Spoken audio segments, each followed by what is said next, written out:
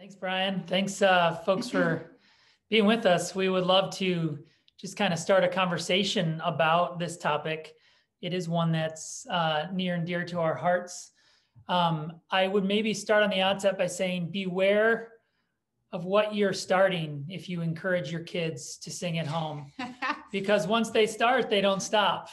Uh, there's a lot of music making and a lot of singing in this household, and it is mostly wonderful and sometimes uh, a little on the crazy side. Yes. So uh, no, but we love it. We have kids who love to sing. Um, can I, you can you all hear us? Can you Fine. hear us pretty well? Okay, good. Okay, super. We're using Janna's fancy mic. I just got a new microphone, so I got to make sure it's working.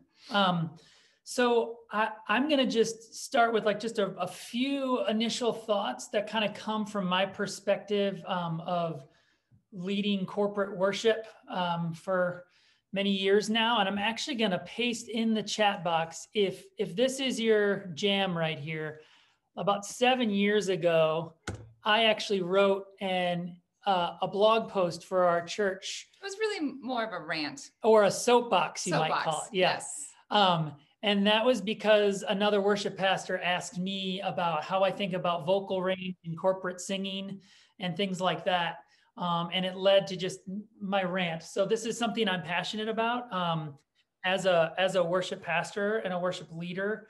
I have been for many years, and now I'm in the place where I'm hiring other worship leaders and training them. So um, I just want to share a few thoughts there because it's out of this that kind of uh, there's kind of an overflow of that that goes into kind of our home life and our singing life and our our worshiping life as a family. Um, I think the first thing I just want to say is that that singing is a form of discipleship, and um, and I mean that by a couple different uh, in a couple different ways.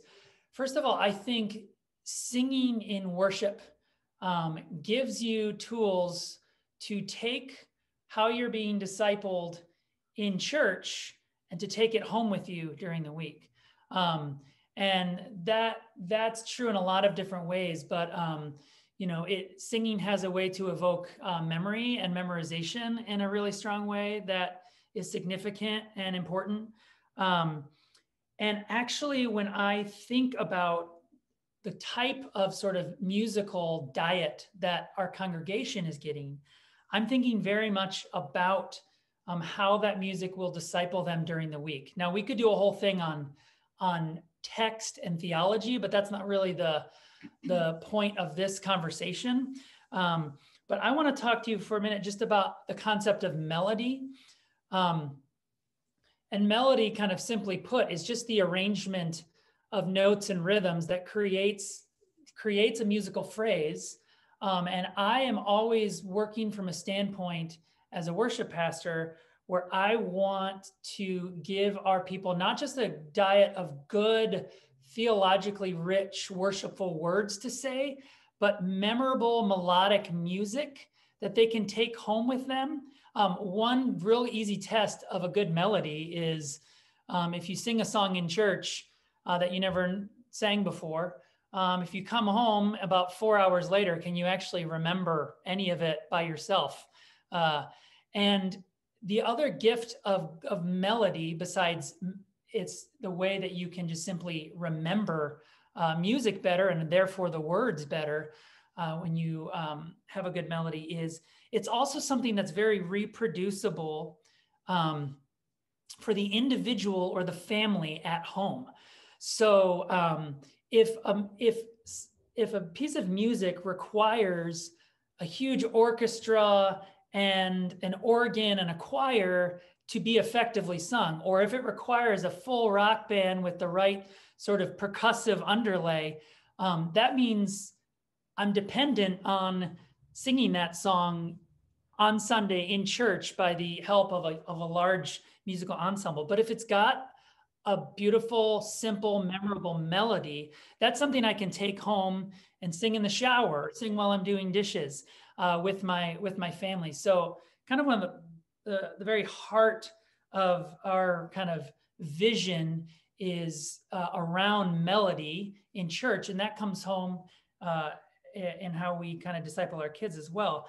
I, I would also just say with that that um, melody and simple melody that's not overly rhythmically comp- uh, complicated or overly complicated in terms of range also elicits singing from a congregation. So, one of our goals always in worship um, is not just to sing good stuff, but to really release our people to sing with us, to sing along. Um, so, that's the kind of musical diet we try to have as a congregation. Um, and when that happens at church, uh, you take that home with you and it starts to happen at home. Um, but that's also how we think about um, what we're singing with our with our kids um, at home. Um, there can be challenges, I think I said, to um, either end of the spectrum. Either end of the spectrum. So on the sort of more contemporary side, the challenge is often one uh, ab- about rhythmic um, singing. There's just a high level of, of complicated rhythms often in contemporary worship music. That can create a challenge in terms of just remembering it and taking it with you.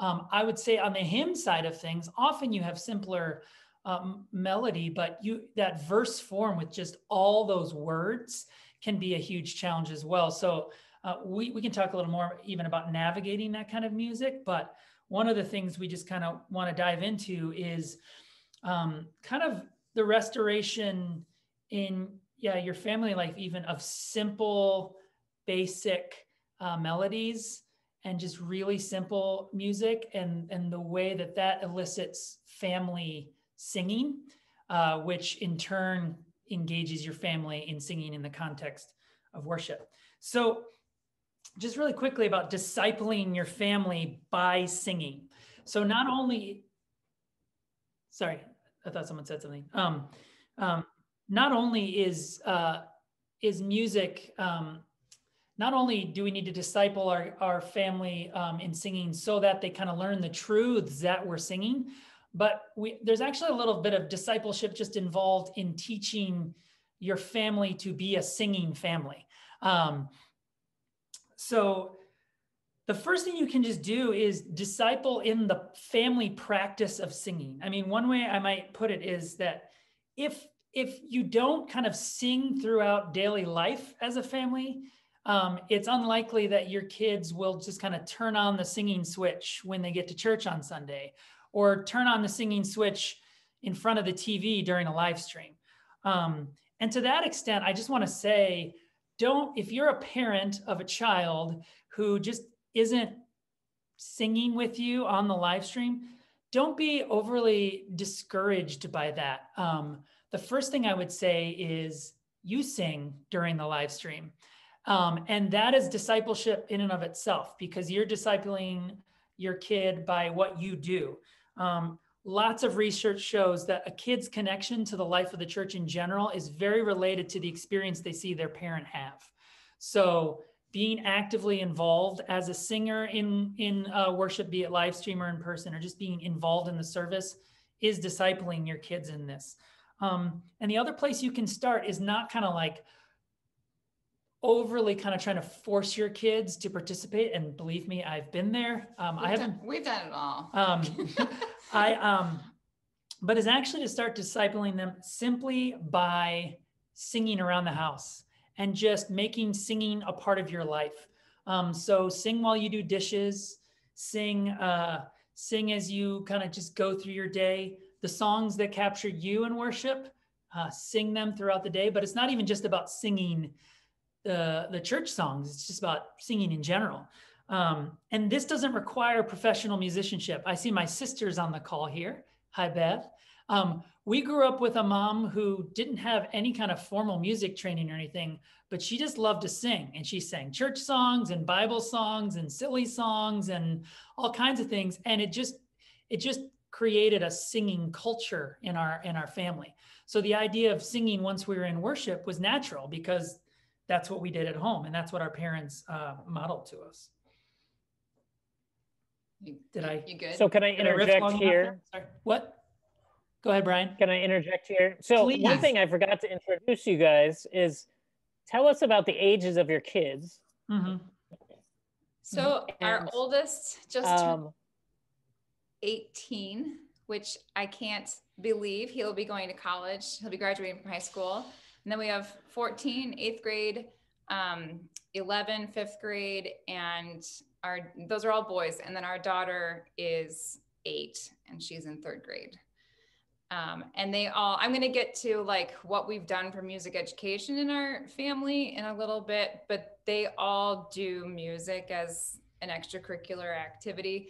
And no, my oldest is not planning on being a music major next year at school. In fact, he has voiced no interest in doing anything musical in college, which is honestly very surprising to me. And I bet you he's going to be there for two months and realize he needs to do something. This is one of those hands-off parenting. Yeah, we're moments. just like, yeah, yeah, we're, yeah. we're, we're out. Yeah, yeah.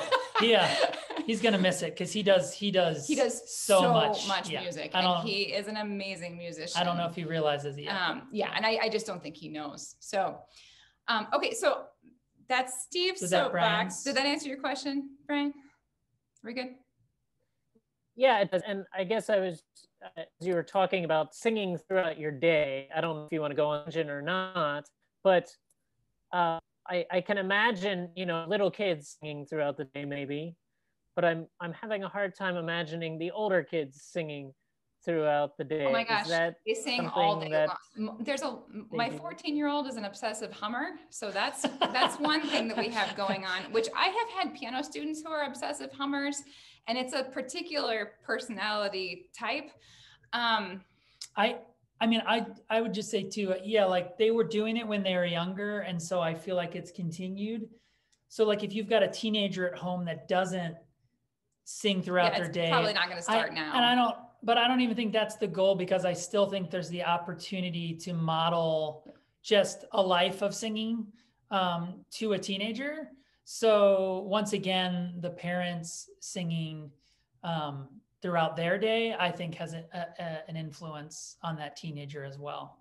Okay, we're going to come back to all Yeah. I'm going to step on my soapbox now, which is I have a lot of experience with early childhood music. And um, in a lot of my training, I was given a lot of really great little tidbits. Um, the first is that the human ear develops, like its actual growth is primarily from the age, like it's like here's birth, and then at the age of three, that that development spikes, and then it kind of levels off again around age six or age seven. And so if you think about it, um, you know, obviously babies and toddlers learn to talk, but if you think about your own kids when they really were speaking and able to kind of, if they sing on pitch, able to sing on pitch, it's probably developing the most quickly between three and six as those those ages. And um, and so that's the biggest window to grab. If you're past that, no shame. But if you have young kids or if you haven't had your kids yet, that's the age to do the most in your home. Um, you do not have to pay for an expensive music education curriculum, but if you have the finances to do something in an early childhood program at that age, I do really recommend it, especially if there's a really high quality program in your area. Um, and if you're not going to pay for classes, then at the very least get some really good quality folk music, chil- other children's music, um, Bible songs that are that age appropriate. And again, um, range and simplicity is very important. Um, the ideal range for a younger child to sing in is if you're a musician, you know where middle C is on the piano. The ideal range is from D right next to C up to B. That's sixth, that interval of a sixth. And that's not to say that younger kids can't sing below D or above B. It just means that's where their uh, voice is going to be most comfortable and most able to move around. Hmm. And the question I get asked all the time is my child doesn't sing on pitch. Well, singing on pitch is a two part thing it's the ability to hear. And then it's the ability to physically, within your voice box and your breath support, to match that pitch. And barring, um, you know, actual physical disabilities, taking that aside, I really do strongly believe that every child can be taught to match pitch. And I have literally taught tens of children, if not hundreds of children, to sing on pitch, taking kids who literally did not move their voice at all from a single monotone to being able to sing correctly on pitch Mm. because I was taught how to do that in the, the curriculum. I taught in the Yamaha music education curricular system for many years. And that's where I did most of that. Um, so I, I really just feel very strongly that that's um, our culture has lost some of our understanding of this. I'm gonna blame American Idol, although I'm sure that um, there were some causes way before this. Um, but we have developed this idea in our culture that some people are singers and everyone else is not. And mm. that's frankly completely untrue. And if you're a music educator and you're familiar with Suzuki's work at all, the idea that all children hold music within them and it's the teacher's job to, to train their ear and draw it out, I would have 100% affirm that. And being able to sing on pitch is part of that.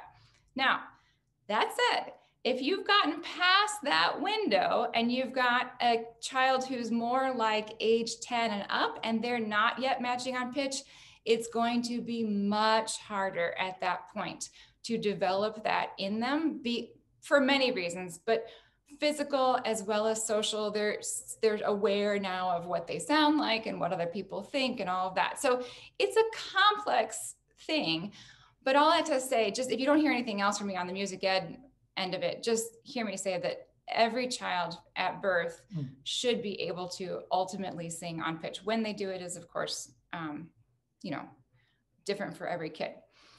Um, and then I will just, I, I have a handout. I'm going to link a PDF in the chat in just a second. I did just put a handful of my top recommended music curricula for early childhood in particular to check out. Um, things like Musikgarten and Kindermusik and Yamaha and Suzuki. Um, but when you, if you're looking for a curriculum for your younger child, especially like kindergarten and below, you want to look for something that incorporates music and movement mm-hmm. together. Mm-hmm. Um, and there's all this research around um, the development of the vestibular function, which is your inner ear. So if you get nauseous, like I do, if you get motion sick, um, that's actually an inner ear function. And that's all related to how our bodies move, our balance system, and music and movement together develop that really well in young children. Um, okay, yeah. Do you want to add to that? Nice, like join my soapbox to your soapbox. Please. Put them together as two bonded soapboxes. Mm, mm. Um, I was just gonna say, um, for our parents out there, our wonderful parents too, um, if you aren't confident in your singing or you don't sing on pitch, Oh, um, wait, I get to say this because this is my fact. Janna has something to tell you. It does not matter. Yeah. All of the research says that it has nothing to do with the quality of your voice or whether or not you even sing on pitch. It's the it all that matters is if you sing. Yeah. And so if you have friends even who come to you and say, I don't sing on pitch, you just tell them it doesn't matter. Just sing in your house anyway. Put on a good CD yep. and sing along, la la la, wherever it is, and and it doesn't matter. You just yeah. sing. Yeah. Um, and that's why they like informal nature. Also, what you were saying about movement just reminds me of the informal nature of um, just singing as a family um, and just singing throughout your day, how that also impacts your corporate worship setting. So, um, you know, like different families have um, have like different cultures of prayer. And if you don't, you know, have your kids pray out loud, at home, it's probably not very likely that when you get in a like uh, a larger group with your kids that they're gonna they're gonna be the one to volunteer to pray out loud. So the same just applies to singing. Um, and and doing it in the form informal ways even around your house where like your kids are dancing around and, and singing and you're doing that sort of thing it it prepares them for a more formalized setting where it's like now we actually stand in our seat, you know, at, at our seats and and sing as well. So there's just a a link to some We're of gonna you were stand saying. on the floor. We're not gonna stand, Stand in the our seats. That'd That's if it gets if it gets pretty rocking on a Yeah. Sunday. Yeah. Probably not in the living room as much. So.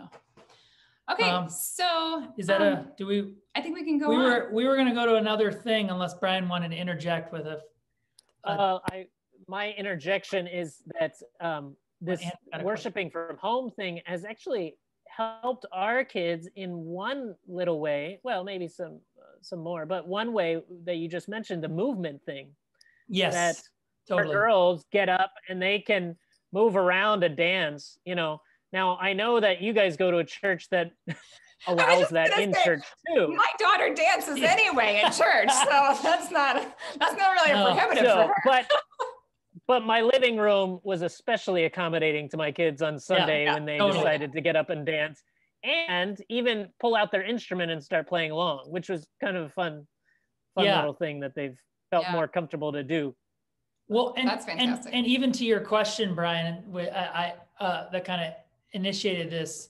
I think, um, you know, I, I haven't been home too much with the kids because I'm usually at church, but um, I think a more informal nature, like even talking with your spouse about it, like what do you expect your older kids to do? What do you expect your younger kids to do in the live stream setting? I definitely think it's it's just it, like it's almost impossible to fight for as formal of a of a dynamic with your family. So and you know, it's unnecessary. yeah, yeah, it's it's probably not a fight worth fighting because it makes it makes church feel um like like it's the time mom and dad get really mad at me.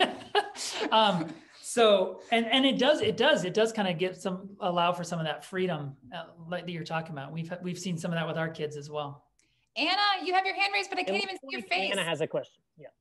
Yeah, that's because I'm in bed. Um, Oh. very tired. Hi, tired. Anna. Hi Anna from Philadelphia. you can't see my face. Um, but um, I mean, I love early childhood music. We put all of our kids in it, but ever since COVID, obviously that thing's been meeting in person. And I have this like vague sense of like, I'm failing my children. I mean, we listen to a lot of music at home, they dance, but I'm like, what are just easy things to incorporate that aren't because I'm just not going to sit and do like a half hour, like, oh, we're going to sit around and do music now. Yeah. Um, Well, but I still feel like they're missing out on what they would have had, you know. So I don't know. So I we're gonna talk. We're gonna give some specific ideas, but um, I would mostly just say as long as you have music on regularly, that you're singing, that you have a drum available or some sticks. Oh, they play it all the time. I'm sure our neighbors Yeah. love that, but I then know. I think you're probably fine. All right. So um, yeah, I know. I and truthfully, we did not, with the exception of all of my kids did Yamaha because I was working at the Yamaha school. So once they hit somewhere between four and five, my kids started that program, which is a keyboard based, like learn to play the keyboard program. Prior to that, I did not pay for um, early childhood classes for my kids for, I mean, probably total maybe i did about four or five semesters total for for Yeah. four children. So i was i don't think that's 100% necessary if you're able to do some of that at home and you're playing good quality music at home. I mostly did it for myself because i wanted to watch a master teacher teach some of that toddler and and preschooler program and um, and i really enjoyed it but but there there have been whole sets of years i haven't done anything like that with my kids um, I think the one thing I will just say is what you do with your oldest Yeah. child Yeah. really matters if you have multiple children because what they take in and then model and do at home really does trickle down. Um, and if they just are enthusiastic about it, which our oldest thankfully always was, you know, then that really does come down the line to the younger kids um, and they can be making music with them. Let's go back to our outline. So let's, do you want to say some of this or do you? Yeah, yeah. I, just to kind of do like two other thoughts. Yeah, sure. Um, on what Anna asked. One is, well, I was just thinking about the COVID experience too. Your kids are a little young for this, Anna, yet, but like, but like our kids actually got into even a little bit more of the like the editing like software side of of music making, which is actually our our 11 year old got way into that, and that's been like a fun new exploration that I think is actually benefiting his musicianship. Oh my gosh, Um, lining and- up lining up drum beats, like Yeah. your rhythm has to be Yeah. insane if you're gonna line up recorded music. So Um, so that's been really fun. Yeah, and then the other thing that's like not COVID specific, but you're in the house more in COVID, so it's even more is and we haven't always been good at this because we moved and it's been harder to figure out, but any musical instruments you do have in the house, and I'm sure you're already thinking this, Anna, but like have ways for them to always be out. Hanging on the So wall. so or, like mandolins or or ukuleles or guitars or violins or hand drums like hang stuff on the wall have a corner in the in the main living room where you hang out kind of stuff I just the- said to my husband like two days ago, like we need to hang our guitar on the wall like the Williamses totally. did. So No, there it's we go. You huge. That's how- Yeah, if it's under their beds, you know, for to pull out, it just won't happen. No. But uh, anyway, that's just another random thought about like music. I just think music culture maybe even more so in the house right now. So And, and I'll just also throw out that if you're not a pianist and don't already own a piano, having a piano just in the middle of the living room, kid, every child walks by. Kids who come over to our house to play walk by and, you know, plunk, plunk, plunk, plunk across the piano while they come by. And our kids would frequently just be doing something else, come over, bang something out, and then go on. It's completely outside of practice time. So I am fully of the opinion that the piano should always be available. Um, oh, except all the hours that I'm teaching on it or practicing myself, but that it's it's in the middle of the house. Um, you know, it's not a special thing that's reserved only for special times. Absolutely not. although sometimes mom and dad are Oh, I frequently or, tell them or Nana and Papa need an ear break. That's sometimes uh, reality. Um, okay, so we were going to do a little bit on um, so some things to think about as you're doing it at home. I think this first point I've basically already made. down to here. Uh, kids do what they see their parents model. We said all that. Okay, so uh, what we did with our younger children. Um, so we think a lot about our oldest guy, Joe, because it feels like kind of like this is the same thing as with baseball. I I spent a lot of time teaching Joe how to catch and teaching Joe how to hit, and then kind of all of a sudden I looked and my second and my third knew how to catch and hit because they were playing catch with Joe. Um, so there's a lot of time investment often in the first kid for establishing culture. Um, and, and this applies to singing too. And we just did a lot of singing just through everyday life. As I'm saying, one thing, one thing was just like singing in the car. Um, Janna wrote down, which is really true, like repetitive or ritualistic songs. So the idea of having songs that even for a season you just sing a ton, like it becomes the family obsession, is really a good thing for just sort of establishing familiarity with with singing. Um, Or like a bedtime song, Yeah. or a bath time Yeah. song, or a good morning song, or the a- cleanup song. The cleanup song, yes. And any good preschool is gonna, you know, use these kinds of things to get kids in line for where they're going next. The cleanup song is also helpful when parents are stressed out and kind of angry to still present with a pleasant sounding voice. Clean up, clean up. Okay. Okay, sorry. Um, um, Also, se- seasonal, seasonal, songs. seasonal. So like we every Advent in December, we always sing "O Come, O Come, Emmanuel." We we light we light the Advent candles, turn off the lights before dinner, and we just sing one verse of "O Come, O Come, Emmanuel" um, before we eat dinner together. Um, so we incorporate it into our prayers a lot. We sing the doxology a lot as one of kind of like our rotating family prayers. Do you have any other seasonal ones? Uh, ones from church. There's songs from church. Um, you will find if you do ritualistic songs, especially with younger kids, that they will hang on to them like a couple seasons too far. So, like you've probably noticed it with, with Christmas songs. Your family sings Christmas songs, and then your five-year-old is still singing them in February, and you you want to go crazy. But just remember in that moment that you're creating a singing culture. Literally, my family. eight-year-old piano student today asked me to play Little Drummer Boy, and I was like, "Really? It's it's February eighth. So kids kids live, you know, long. They they like the repetition. Um, um, okay, this is this is kind of really down to some like brass tacks, but um, I was thinking about the fact that we start, you know, kind of like the role of teaching your kid to be sort of an independent singer, which I think in the end has the benefit of um, them engaging in things like corporate worship because they have sort of an independent confidence in their own singing. Um, and some of this was intentional for sure. Some of it was like experimental with our poor oldest child. But I, as a dad, spent some time uh, for you musicians uh, singing with him a lot when he was like in the like three, two, three year old range. yeah. Yeah. I would sing a lot up high with him in his octave um, and just helping him sort of gain confidence. And then I literally would start experimenting with, okay, daddy's going to sing lower now and you sing high. And it sounds like a really simple, like kind of silly thing, but it was like his first step, I feel like, um, into in the idea of like independence, or it can be like sing with mommy up high and dad's gonna sing down low. And just kind of establishing the idea that we can do different things with our voices and you have your own voice and you can contribute And this is your what part. any male elementary music teacher is doing this. They're singing up in their falsetto in the child's range and then eventually moving down. Um, if any of you know Andy Seymour and have ever heard him lead a rehearsal, it's like falsetto city and then he drops down after half of rehearsal. So Um, yeah, and then from there, I mean, uh, we tried to listen to a lot of music, and we'll talk about kinds of music we listen to at home as well. But we tried to listen to things with a lot of good harmony lines. So the concept of harmony, and if you're musically inclined as a family, eh, or even if mom or dad is, the idea of like one of them singing one part and one of them singing the other kind of just establishes the idea of family music making and each of us contributing our part.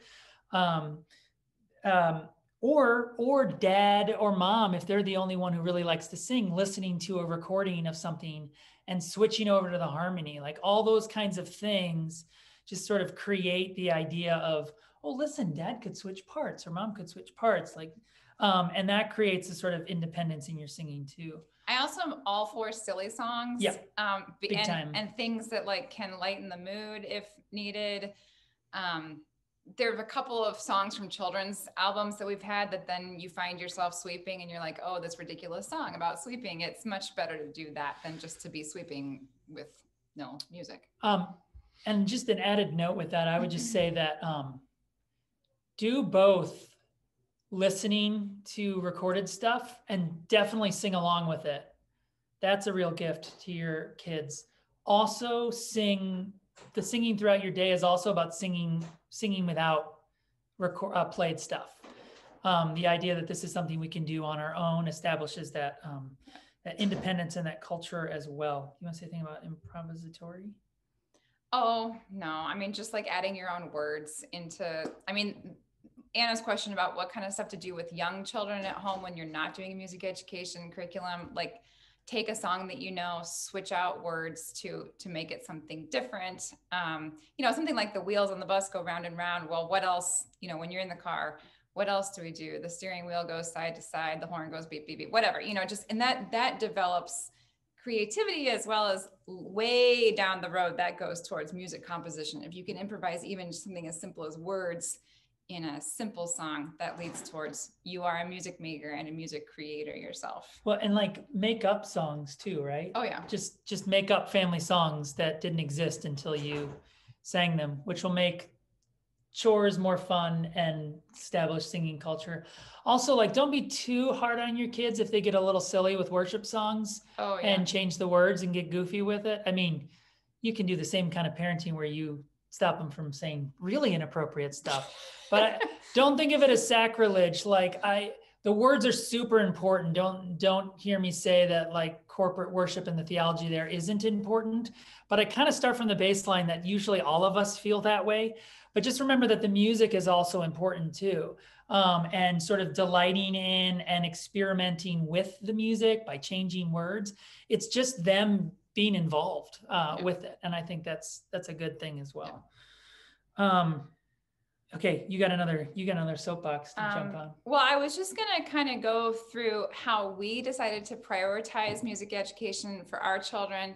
And that's not to say that A, you have to do any of the same things that we did or that what we did is right. I just thought it might be helpful for people who do live on a budget, very much so, um, but very much also prioritize music ed for our kids to know kind of what we did. So I mentioned we paid for a few semesters of early childhood, toddler, and preschool um, classes so that we could have something to do with our child and and so that I could get some curriculum and watch another teacher teach. And they're just they're just so fun. They're so delightful and then like I said I worked at the Yamaha school so all of our kids went through that program. That is a little bit unique and not in every area and I totally get that that's you know not available to everyone. For me as a piano teacher who wanted to ultimately teach my child it was a huge blessing because my children started in a classroom environment and we're not just starting one-on-one with mom in the house. And so by the time they went through that program and then started private lessons with me um, I was able, they were already in a groove of practicing and having a regular weekly lesson. So now I teach three out of four of our kids. The fourth goes to a different teacher because personality wise, that is the best choice for us. Um, and so all four of our children take piano. My older two boys both started violin um, in first grade. And my oldest did not take once he hit high school. And our eighth grader is going to stop violin after this year because he picked up trombone um, in fifth grade and he decided for high school he wants to do band trombone. We never paid a dime for anything for trombone, minus the one time a year school fee because we were given a free trombone. And um, he's had really good, really good band directors and get some one on one time with them. And then um, our kids have all done church choir when there's been children's choir available. And um, so basically, what we've paid for is the violin lessons, school fees, which are very minimal for another instrument, and the piano lessons for the one kid who doesn't take with me. Yeah. And that's been that's been about it. If I had less of a budget or if I were not able to teach my own children piano, then we'd be talking about probably taking lessons on one instrument and you know um, thinking about um, school music as a supplement. Yeah. I, as a pianist, am terribly biased that piano should be the first instrument taught because it is the instrument that you can see everything theoretically on. It is the keyboard is the instrument on which everything, every instrumentalist and singer has to be able to also play the piano. So it is just what it is, and I'm biased that way. Uh, however, I know wonderful people like Brian's wife who teach Suzuki strings, which is also a very good choice for a younger child because it also develops the ear. Um, and so I think either one of those are good first experiences. If anybody asked me my baseline opinion, I'd say start with piano, but that's Yeah. that's my bias there. Um, and then singing is just always a part of our our lives. Here's our other soapbox. Do I get to do this soapbox? Yes, but we So- have to apologize first if there's any voice teachers in the, in the Oh, Zoom call. Oh, well, I'll put it this way. Okay. Um, if you have a teenager and they uh, get interested in singing and they start talking about taking voice lessons, um, That's um, I, we would we would definitely encourage, if at all possible, um, ensemble singing first. first. um, and primarily for a high school kid. So first of all, first of all, um, there's usually just there's so much learning that can go on in like a high school choir where they're going almost every day and they're making me they're making music constantly. They're being fed by all the other singers around them. Uh, they're learning all kinds of skills on a, on a regular basis. Um, not to mention that the, the the voice is still developing. Um, and and just back to the subject at hand if if if your desire is to see your kids as they grow up be more and more connected and involved in the corporate life of worship of their church a choir experience where they're singing with a whole bunch of other people is going to be way more beneficial towards that goal than learning how to sing as a soloist. There's plenty of time in their young adult and adult life if that's a if that's a an interest they want to pursue as well. Um, so definitely we would recommend choir.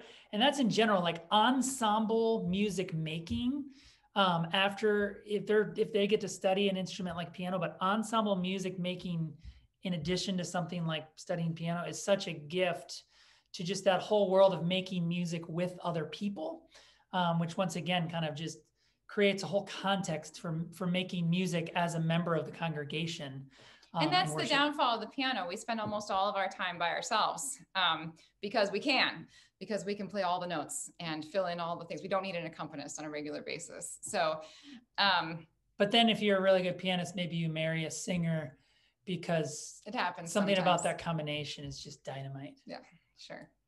Um, I just don't want to pay an accompanist. Yeah. sorry, looks like Brian has a question. Well, Well, I just wanted to say, glad to hear that you have a brass player in your house Yeah. because We do. He As a and loves trumpet it. He has player. embraced it. loves it. Yeah. I mean, it's he has embraced from day one the philosophy of trombonists just play loud. That's just what we do. We just we just play loud.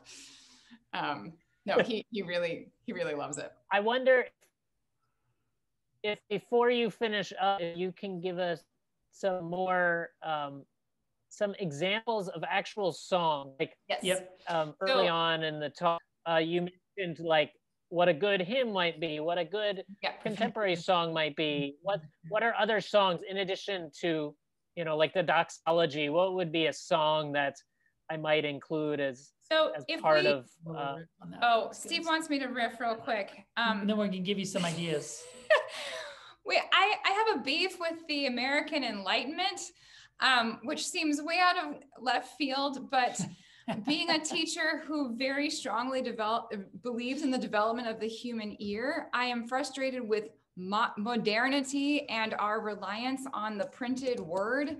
And um, and so if your child is doing any kind of music ed, I hope that it's a balancing balancing act of both learning how to read music as well as learning to develop their ear and play by rote. And so the same would be true in training in, in worship music or training your children to sing. Um, at we do not, there's no reason to expect a child under the age of 10, maybe nine, maybe eight, if they're a very advanced reader, to be able to read a hymn because a the vocabulary is very intense b I, I this is how i actually auditioned kids for my choir when i ran children's choir was do you understand read through verse one and then go to the next line and read verse one not go down to line two it's so complex Yeah. um, and so there are hymns with refrains like especially older gospel hymns We love refrains. refrains are the That best is like that is like one thing right there. That it's always something to hang your hat on. Exactly. So, so if the parents can sing through verse and the kids and the kids can join on the refrain, anything that's call and response where there's a limited line or two of responding to what's been sung first. Oh, yeah. that even the youngest child can hang on to that. Uh, if you go to Res, you know Steve's song, "Oh Lord, Have Mercy," which the only thing the congregation sings is, "Oh Lord, have mercy, have mercy on us," and the cantor, which is frequently Steve, sings this litany. And our three year old at the time was in Trader Joe's belting at the top of his lungs, Oh Lord, have mercy, have mercy on us. And Steve got a little concerned that maybe he would, uh, people would think strangely of him for that. But that's the kind of thing Yeah. that kids can grab onto and hang on to. Um, Um, I, I was just gonna say really quick, like my earliest memory of singing a hymn in church with my mom was up from the grave he arose. And I, cause I just remember, first of all, I giggled every time we sang the refrain. Um, and, but also just that the, the repetitive joyful nature of that refrain was like, I didn't have to figure out what was going on in the whole hymn. The same words came back with the same melody every single time. So um, we're just uh, we would be huge proponents of of of finding things with refrains. Um, Okay, now if you want to do hardcore hymns with your kids, then you just have to be willing to say the words or sing the words over and over again. And that, like, for two weeks, you're working Yeah. on verse one yeah, consider it a success to teach your kids one verse because rote of difficult language is takes a long time. Yeah. It's not that it can't be done. There's also just very few recordings of hymns. Oh. Yeah, yeah. There's not great recordings of So- hymns, which means it's it's hard to um, It's the burden is on you as Instill. parent to sing it over and over again or find a recording, which is just a little bit harder to do. So based on time, why don't you do this stuff? And, Okay. and then I'll take. I'm It's- gonna put it's stuff. pretty- It's in. It's on the handout. Oh, it, you guys got a handout? I link. I linked a handout in Oh, the that's so in fancy. the chat, Okay, never mind. and there's several suggestions. Um, I can sh- I can share it here too. Let's let's just go through this real quick. okay, so people see what we're saying. Oh, you made It's- it look so nice. No, too. Brian made it look Oh. nice. So if you in the folk or early childhood, arena, if you can get your hands on some Musikgarten or Kindermusik curriculum CDs, even on eBay, find those. They're just really, really nice. Similarly, Elizabeth Mitchell is on Spotify and all the streaming services. She has lovely folk albums with basic accompaniments and ranges that children can sing. If you're my age, then we had We Sing when we were kids, and they have so many albums. The one that's Bible songs is all the songs that Steve's mom sings sang to my babies when they were little, like Jesus loves little ones like me, me, me. You know, the ones that have all the hand motions. Okay, this one's a little out there and this is a hyperlink. So if you take the, the thing, you can click on it. It's called Geography Songs. It is the cheesiest homeschool curriculum I have ever purchased in my life. And it is worth every $22 that you will spend on it. Um, it's literally songs about every part of the world, just listing off the countries in those areas. And my kids know so much geography from those songs. And then in case you're interested in some more um, outside of white Midwestern experience, Jose Luis Orozco has lovely songs that kind of are a little bit bilingual and just a lot of Spanish, same exact genre, folk songs in Spanish if you want your kids learning a little bit of Spanish. Okay, and then specifically for Bible verse memorization, Sing the Word is a fantastic series. I believe the uh, wife of the guy who wrote all of them was an Eastman master's or doctorate in flute, and she plays on a lot of the albums, a lot of flute. Um, but very melodic, long passages for some of this. The lower levels start with short verses, and then you get whole psalms, whole sections of epistles on the upper levels. Seeds Family Worship and Steve Green are both available on Spotify and such. And then these I- are specifics. Okay, sorry, you talk right? now. I get to talk now. Sweet. Um, so these are this this set here under contemporary Christian music is our set of sort of um, music that kind of meets kind of that that vision of of melodic. Um, it's the kind of singing that you could take with you away from the recordings or away from church worship. I will just say this: as I encourage this type of music, um, as we talk about like Taizé and Iona community, for instance, you can't often completely switch the culture of your of your church's worship setting. Um, and you don't want to be that pest who's always telling your worship pastor what they should do. Steve, but- are you saying that That sometimes that happens, that but happens? but like uh, Taizé and Iona um, are two examples, and there's other people out there like John Michael Talbot. Um, um, it's it's it's all simple refrain singing. So Taizé community in France, it's just like these little eight bar um, antiphons, refrains that you just sing over and over again. Iona community is a very similar thing. A, a little of that in a church's diet is is really rich because that's the stuff that people um, remember.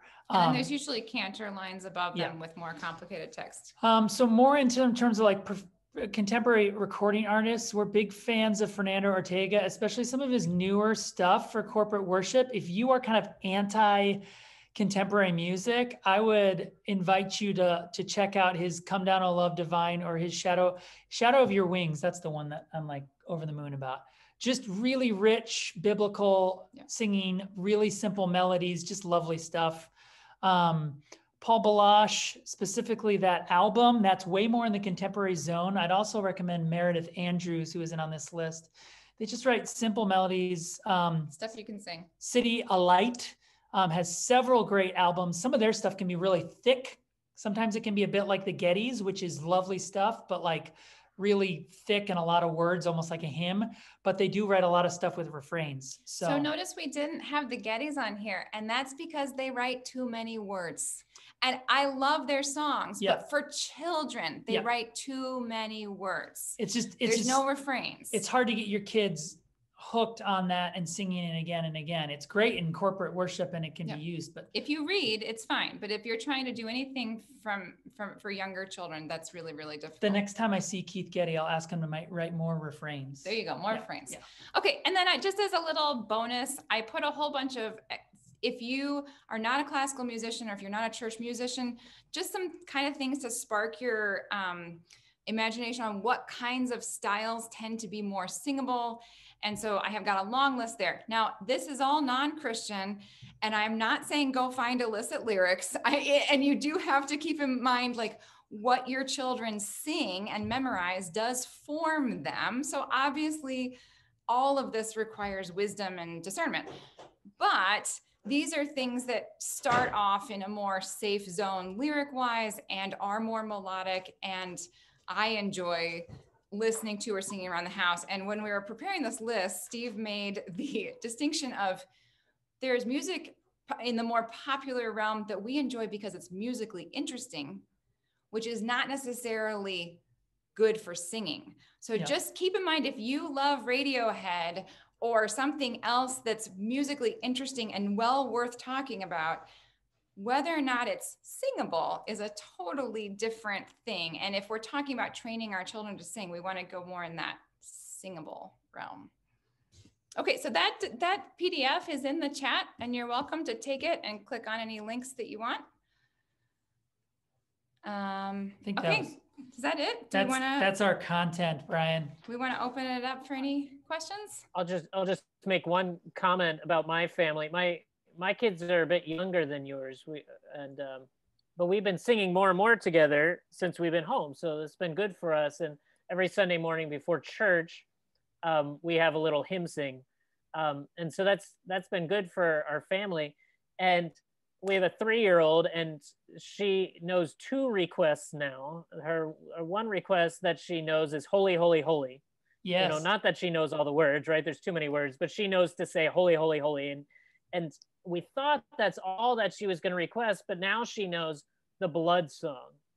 And the blood song is a perfect refrain song, nothing but the blood of Jesus. Oh, there yeah. you go. Um, yes, absolutely. Which fits into your model of refrain songs, but that's right. known now as the blood song. Blood song. well, we also have a friend whose son is, is three and totally obsessed with Oh Holy Night. And he knows both verses of Oh Holy, and he just sings them on repeat because he's made his, his mom sing them over and over again.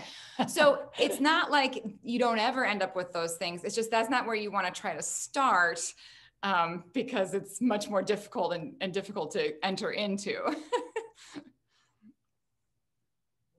but I wonder what other questions there are out there. Any other thoughts? Any questions from? It's fun to see some kids here. I love that Anna Swinford and the Ickuses are both here. You guys could have like a little wave reunion. Sorry, it looks like it looks like Claire, uh, Claire, Claire has I have a question. Um, Anna's sick, so she took a late nap, so she's off with it. But um, our son John is going to be six, and he's got the impression that he can sing harmony by just deviating from the melody. Yes. um, so we've started teaching him about rounds. Um, Good. My memory of learning rounds is like the it helps if you cover your ears while you sing and just barely hear the other person any any more tips on teaching rounds and singing I've done, I've taught rounds before, and the best thing to do is less about like not listening, but having a partner. So you have to have two or three on one side and two or three on the other, unless you've got, you know, an adult who can hold their own. Um, the other best round that's always taught in early childhood is uh, music alone shall live. I don't know, music alone shall live, ever to die. That's another good one because um, it's just the three lines. There's other ones, but that's the one that I know I taught regularly. Of course, row, row, row your boat right. works as well.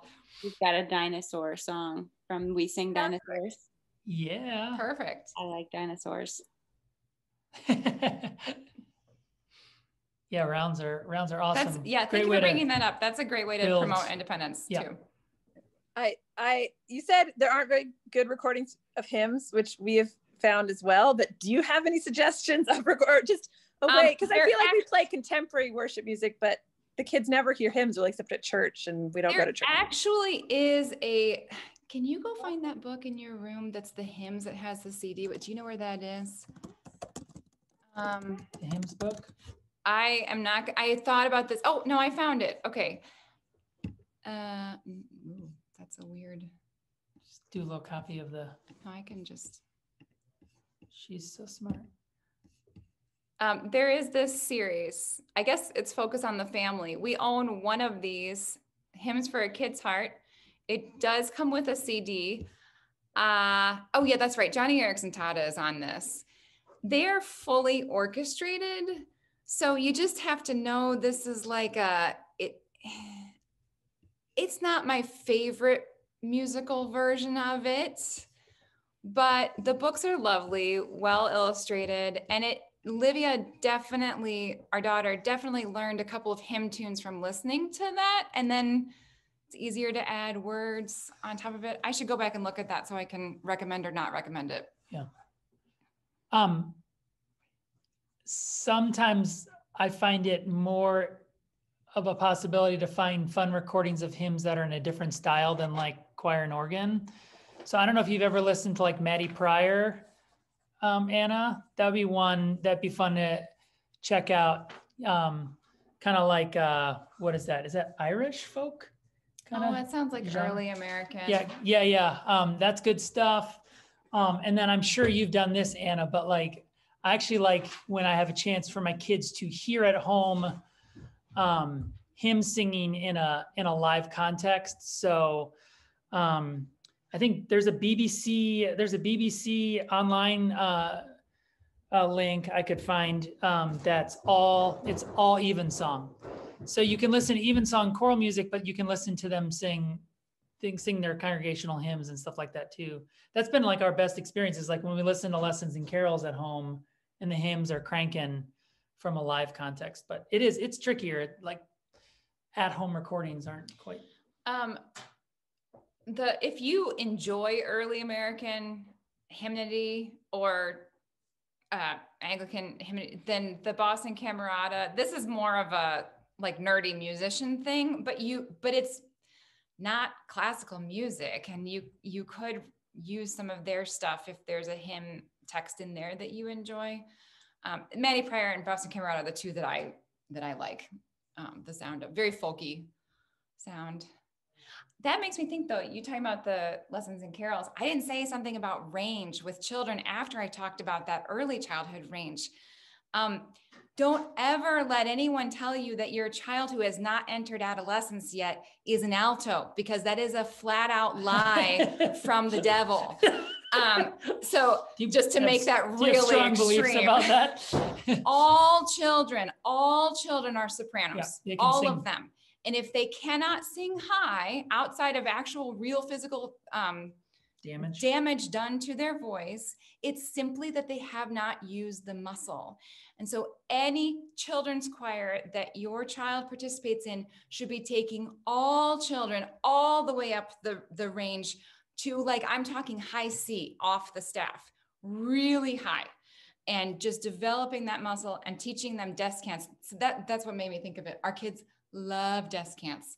So they sing the same Hark the Herald Angels Sing and O Come Ye Faithful descants way up on top of the staff every year. And they just, yeah. they just love it because they're ripping it uh, on top and they'll sing it in, um, in church from their, from, from the their own little seat, you know, because they know the descant because they memorized that in choir. And so um, singing high is a good thing. Singing high is very good. That's the essence. Very good yeah, that's what I'm going for. Once you get past that early childhood place and you're developing, you're developing, growing the muscles. Oh yeah, Anna, Slugs and Bugs is is fun. This is um post my oldest. They came out after our oldest yeah, was you all would know that age. So anything else?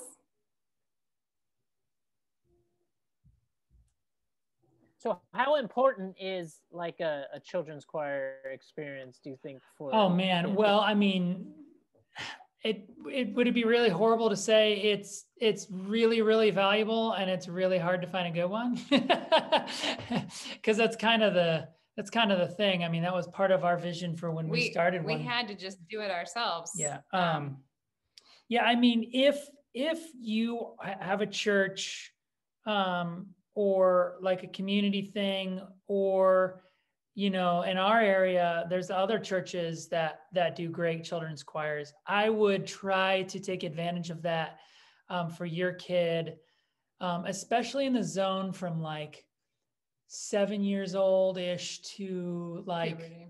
to puberty.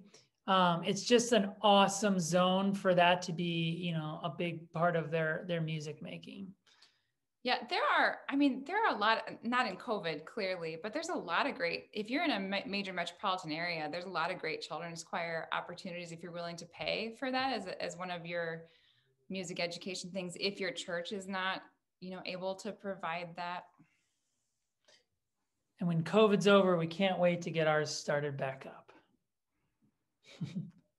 Claire. Do you have, um, this is a little separate, but do you have good ways of encouraging children's participation in worship like at church oh not man. just like from your seat. yeah yeah yeah yeah um that's that's a good question we haven't done enough of this but um one of the things that's I'd been real slap my child and tell them to stand Same. up. no, no, no. I don't think she meant your individual. Child. Not my individual. Okay, okay. I, I, uh, I, uh, I, um, that was a joke. We like to do things like teach a song to the kids in, in their, in, in the kids program first and then have a, a point where we bring that song in and all the kids stand up front and and and kind of lead the congregation in it.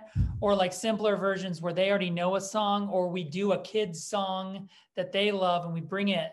And i make a big deal of it when i do that. Like the, the kids and res kids have been you know uh, learning this song um, and then they get kind of all pumped up. We try to always do some of our regular worship music in the kids program so that what they're experiencing there then they then they'll come in and when they're singing with the full congregation they're familiar um, with some of the stuff as well. I mean very occasionally steve will say from the front kids you're going to have to help your parents with this one. If it's more of a you know upbeat oh, yeah to have kind of fun like give them leadership. Yeah. I also think anna the idea of you've probably got a ton of ideas because you've been doing all this I think your main worship leaders should make it into the rotation to go lead the kids. Um, I think that's a that's a really good one too. So then the kids have a, a, a direct connection with them as well. I like to write songs that are kind of for them, um, kind of become become our thing. So when they see me in the in the sanctuary, we've kind of got our, our own connection as well. Claire, did you have something too? I did. I was wondering with children's choir, when do they need to be able to read music? When does that happen? Mm. That's obviously going to depend on the um, whatever the context is and whoever the director is. Um, for perspective, when I when I did children's choir at res we our age limit was they had to be seven so essentially second grade but they had to be seven by that fall that they joined and I would always audition them not that I ever cut anyone but just so I knew if they could read words and then no they don't hardly ever do they have to be able to read music because most directors assume that that's their role is as a music educator is to teach a child how to read um, music and then I always just if I had a child who didn't read English very well, I just made it extremely clear to the parent that they were going to have to do work at home yeah. because trying to intake music and words at the same time, as I've already said, is quite difficult for most children on the younger end of that spectrum. Um, but most choirs are not expecting a kid to come in and be able to sight sing. Uh, they will work on those those skills. Just for context, if you're not a professional musician, sight singing, being able to look at a line of music and produce that with your voice is one of the hardest things to do. It's far more difficult than sight playing your instrument because most instrumentalists memorize patterns of fingerings and just know they don't have to literally produce that sound with their physical body. Yeah. Um, so it is that's a much more refined skill than sitting down and playing notes. Um, I know so much of this is kind of like not directly in in the zone of uh, singing in worship with your kids, but I think part of it is that creating kind of a singing culture in your family is really the is really the the root that we feel like elicits corporate participation from your kids. And from that standpoint i would just say too it's like it's a long game like it's just constantly kind of building that culture with your family so um, from that perspective also like just give yourself grace and patience for for where your kids are right now at this moment. Um, and if you hit COVID and all of a sudden it kind of feels like now we're doing this all the time and the kids don't participate and this is hard. It's like I think there's a ton of grace um, on that because what you're really trying to do is disciple your kids over the over the whole course of their the time in your house that that singing if singing is a part of life then singing in church will be um, something that they naturally want to participate in and as a result it'll be part of what disciples them um, in the church as well. And just take it to take it out of the church context and just into a personal development context my when i'm teaching piano my goal, besides giving my students a, a love of music that I want them to take with them their entire lives, is for them to develop their own personal expression and to be able to open themselves up to give the gift of their personal expression to an audience or to a family or anything like that. And so just giving a child tools to actually express themselves in in a musical way is in and of itself a wonderful thing to do and to just model that that's what we do. We we sing we talk about our feelings we we participate in corporate worship. Like we are human beings with real feelings and real insides. And um, that's really important i think for our, our children in this generation to develop as just as much as the actual musical part of it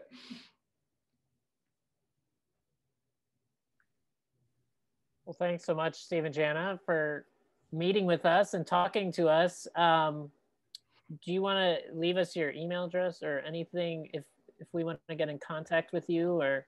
Yeah, definitely. Um, we're going to give you your email address. Um, and thanks for the handout link in the chat for the handouts and um, but just thanks everyone for coming out. This was uh, fun for me to just see what what experience we could all share um, doing music. I'm, I'm sure many of us are in the same boat trying to figure out how to be at home much more than usual with, with our family. And it seems to me an important thing that we worship well together, right? Music in our family's life.